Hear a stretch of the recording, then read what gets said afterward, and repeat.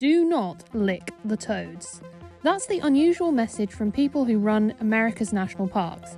Some toads give off chemicals that can make you hallucinate, but touching them is super dangerous to the toads and it can be life threatening to humans, which is why it's really important that you